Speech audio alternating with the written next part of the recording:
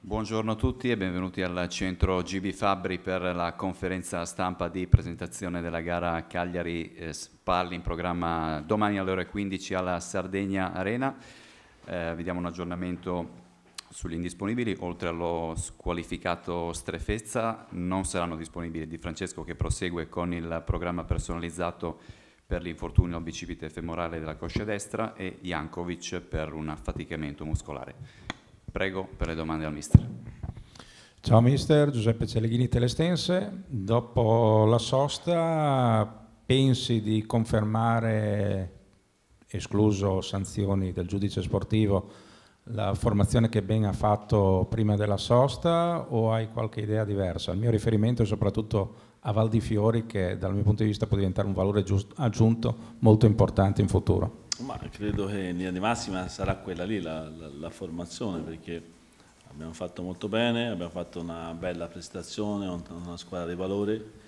andiamo a affrontare un'altra squadra sicuramente che ha dei valori assoluti, ha fatto un cambiamento e un miglioramento importante rispetto all'anno passato, ha investito eh, tanto sul mercato, una squadra sicuramente in salute, un campo particolare, tra l'altro noi non abbiamo mai eh, raccolto niente in quel campo e quindi bisognerà cercare di fare una prestazione veramente importante eh, per dare continuità sia a livello di prestazione a quello che abbiamo fatto col Parma, ma soprattutto provare a portare a casa dei punti che sarebbero importantissimi. Ciao mister Andrea Tebaldi della Nuova Ferrara, come sta Vicari che sappiamo ha avuto qualche problema in settimana? Ma Vicari si è allenato un po' a parte, però insomma abbiamo, siamo stati attenti a a non sforzare questa problematica che lui aveva e quindi è stato anche da parte nostra un, un, un, abbiamo fatto fare degli allenamenti per salvaguardarlo e portarlo diciamo, ad oggi a completa disposizione, quindi insomma sarà a disposizione per la gara di domani. I reduci dalle nazionali come li hai trovati? Tutto a posto? Sì, tutto bene, purtroppo abbiamo avuto questo problemino con Jankovic, però insomma tutto bene, eh, sicuramente Kurtic ha fatto due partite insomma, di 90 minuti abbastanza intense, però insomma i ragazzi stanno tutti bene. Su cosa hai puntato principalmente in queste due settimane, questa sosta diciamo? Ma, eh, fargli capire che bisognava continuare a avere un atteggiamento come abbiamo avuto con il Parma, dove abbiamo fatto una, una partita di grande aggressione, di grande pressione, di furore agonistico importante, se riusciamo a dare continuità a quello che abbiamo intravisto con il Parma sicuramente possiamo dare il filo a torcere a tutti ma soprattutto eh, portare a casa dei punti importanti per quello è il nostro obiettivo. Quindi sotto questo aspetto abbiamo cercato di dare continuità a certi tipi di allenamento, a una certa tipo di mentalità sia sotto l'aspetto difensivo e sotto l'aspetto offensivo. Buongiorno, Matteo Ciao. Langone, il resto del Carlino. Allora, prima domanda sulla sosta, appunto, è arrivata dopo una vittoria che era stata a lungo cercata. È, stata è stato un momento positivo per ricaricare le batterie o forse sarebbe stato meglio continuare a giocare dato che era arrivata appunto la vittoria? Ma sai, sicuramente quando vinci ti piacerebbe così eh, di poter giocare anche, anche dopo sette giorni, però non è stato possibile e quindi abbiamo cercato di sfruttarla per migliorare le tante cose che dobbiamo migliorare. Eh, dispiace perché eh, col fatto dei nazionali avevamo qualche assenza di troppo, però ci ha permesso di recuperare alcuni giocatori, di, di, di, trovare una, spero e penso una condizione migliore eh, per affrontare questo diciamo, nuovo inizio nei migliori modi, soprattutto a livello di prestazione, di intensità e di, di, qualità fisica migliore rispetto a quella che avevamo visto fino ad oggi. E sul Cagliari, dato che sta avendo un buon inizio di stagione, che tipo di approccio pensi che abbia la squadra sarda alla partita? Ma a parte l'inizio del campionato dove ha perso il Brescia e ha pareggiato nel Verona, però eh, specialmente in casa fa valere tanti aspetti, è uno stadio particolare, un tifo particolare, eh, quando gioca in casa riesce a esprimersi in una certa maniera, eh, sicuramente quest'anno con i calciatori con, sono arrivati, eh, sicuramente hanno migliorato sia sotto l'aspetto tecnico che l'aspetto fisico, eh, mi aspetto una, una squadra sicuramente ben messa in campo, una squadra che ha dei valori, eh, però come ho detto ragazzi, noi non bisogna pensare all'avversario di turno, che sia il Cagliari, sia il Parma o sia prossimamente il Napoli, ma bisogna pensare a mettere in campo tutto quello che abbiamo, rispettando l'avversario, ma soprattutto consapevoli che la squadra sta crescendo, che abbiamo delle qualità e bisogna metterle sul campo. Ciao mister, Andrea Mainardi, Estense.com, non so se in settimana hai letto le parole di Gomis, se ti senti un pochettino di, se vuoi, insomma, dire anche la tua in proposito. Ma allora, mm, quando mi ha fatto la domanda sorrido perché eh, ha detto che è andato via perché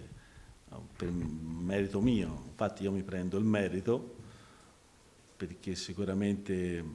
quando è arrivato qua eh, aveva fatto dei buoni campionati di Serie B, io l'ho fatto esordire in Serie A, gli ho dato continuità, gli ho dato fiducia insieme alla società. Grazie a questo cammino e questo percorso ha guadagnato anche la nazionale e quindi credo se oggi è andato a avere un'esperienza un campionato francese, eh, sicuramente questo grande merito è della spalla di Leonardo Semplici. Eh, poi eh, è normale che quando hai a disposizione da parte della società due portieri come Meret prima e poi Viviano, che sono profili diversi, fai delle scelte come è giusto che faccia l'allenatore. Però insomma io da parte mia eh, gli posso solo augurare il meglio. E un'altra cosa per quanto riguarda invece le scelte di domani in attacco, se sei orientato a confermare anche Flocker e se ti aspettavi di, anche quest'anno di trovare in lui un giocatore così importante per te. Ma guarda, eh, la mia prima richiesta quando sono rimasto è stata la, la conferma di Sergio e De Felipe perché secondo me sono due calciatori che hanno un passato e un percorso professionale importantissimo, in primis come uomo e poi come, come calciatori. Quindi sono, sono, partito da queste due conferme perché sono dei giocatori che mi possono dare tanto, mi possono aiutare nella gestione di tanti aspetti,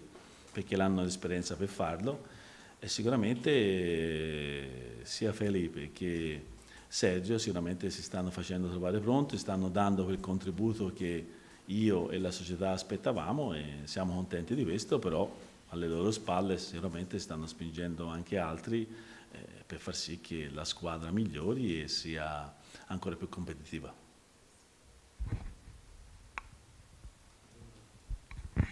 Eh, adesso arriva il trittico Cagliari, Napoli e Milan che sono un po' le tre squadre forse un po' più ostiche per la tua spalla, diciamo degli ultimi due anni, mh, mm, credo 11 sconfitte su 12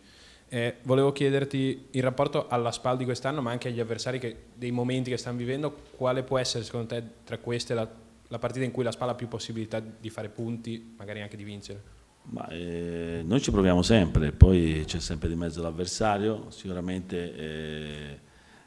sono abituato a, a pensare a partita dopo partita, quindi in questo momento le forze di tutti noi sono, sono basate su, sulla partita di domani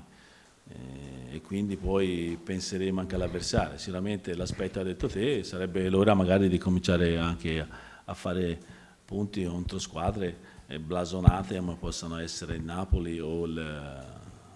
o il Milan, sicuramente sono squadre attrezzate in questi anni per eh, obiettivi eh, ben diversi da quella della SPAL.